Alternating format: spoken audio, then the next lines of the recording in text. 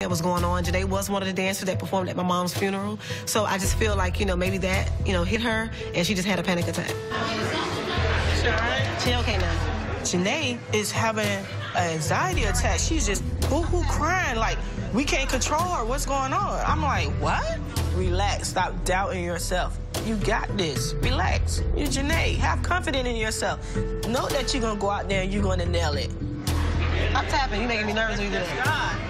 Do feel as though I'm somewhat emotional also about this being the last performance of the season and also about how much this performance meant to everyone and how important it was to Mrs. John Byron. So I just don't want it to end. I don't want to be over yet. I feel like it was a lot of bump, bump roads. It was a lot of ups and downs. But I feel as though, you know, I wish we had a couple more performances. When it was just too much like emotion in the room for you? That's because the spirit of Lord was all in the house. You know what I'm saying? Hey, ain't no denying it. Listen up, y'all. Before we get started, uh, I'm going to have my uncle, Pastor Young. He's going to bless us with a prayer. It's very important for me to have my uncle, which is my mom's brother, conduct the prayer because he's the one that did the eulogy. He's the one that, you know, officiated my mom's funeral, and they were so close. And I think it's important for him to lead the prayer today because we need a sincere, genuine blessing. Let's look to the Lord this evening. Eternal God, our Father, we come at this point in time to thank you, Heavenly Father. Use these children as you see fit, oh Heavenly Father.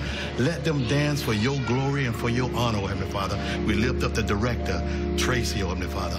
Oh God, right now, strengthen her, Heavenly Father, as he continue to move on. And Lord, we thank you and we bless you.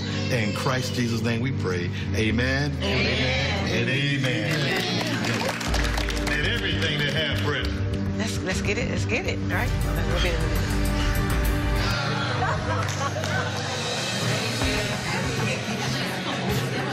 Unfortunately, my unemotional self got emotional. I'm finna see the place where my mother's casket was, so that's when it hit me.